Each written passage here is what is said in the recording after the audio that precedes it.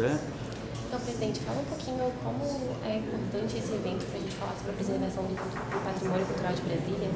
Bom, Camila, mais uma vez o Correio Brasiliense demonstra o seu compromisso com as causas importantes do Distrito Federal de Brasília. Isso é um tema extremamente caro para nós, que somos cidadãos, nós que representamos a população do DF. A preservação do patrimônio histórico do DF é algo que precisamos ter muito zelo, muito cuidado. E o Correio, quando lança a mão né, de uma iniciativa tão importante como essa, nos dá a oportunidade de poder discutir essa matéria, de poder ajudar a ter instrumento que de fato proteja e que ao mesmo tempo permita que o Distrito Federal continue desenvolvendo. Então, mais uma vez, a gente parabeniza o Correio Brasiliense e nos colocamos à disposição, os 24 deputados distritais, para que a gente possa realmente fazer dessa ideia, daqui a alguns dias, uma lei que atenda a população do DF.